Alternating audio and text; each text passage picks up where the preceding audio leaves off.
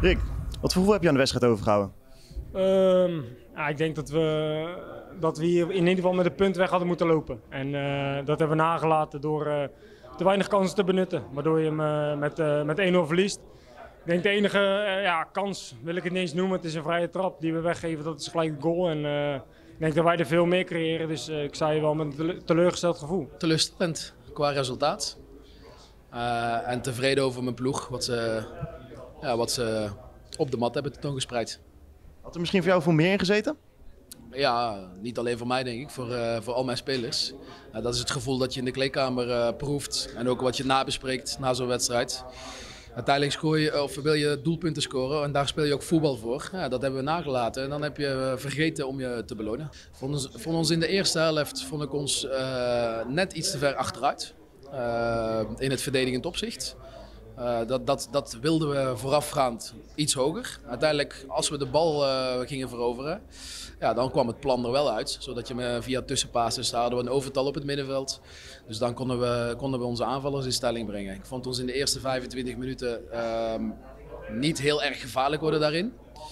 Ehm, maar in de tweede helft hebben we dat iets omgezet. Niet zozeer in speelwijze, niet zozeer in de manier waarop, maar net iets hoger op het veld.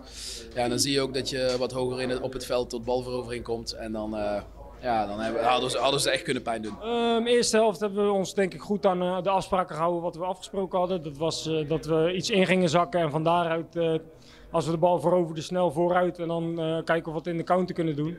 Nou ja, na rust hebben we besloten om wat hoger druk te zetten. Ja, ik denk dat dat ook heel goed uitpakte en ik denk dat wij heel veel op de helft van NAC hebben gespeeld in de tweede helft. Dus ja, ik ben over het spel ben ik redelijk tevreden, alleen ja, we, we moeten hem gewoon binnenschieten. En wat zou je anders willen doen tegen VVV volgende week? Ja, de scoren. Ja, natuurlijk, we gaan an- eh, VVV weer eh, analyseren.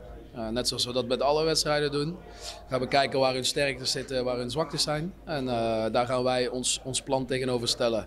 En vooral ook vanuit de gedachte dat wij onze kwaliteit moeten komen. Want die kwaliteit hebben we. Wat zijn jouw verwachtingen voor Toppos dit seizoen?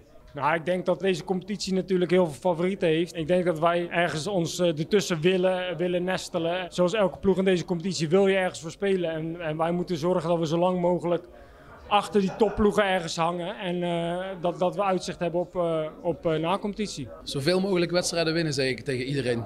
En dat, eh, we hebben nu één wedstrijd gewonnen. Ik denk dat we vorige week dat er misschien iets meer in had gezeten. Eh, en vandaag had er absoluut meer in gezeten. Dus ja, ik denk dat we vandaag minimaal eh, een punt hadden moeten meenemen.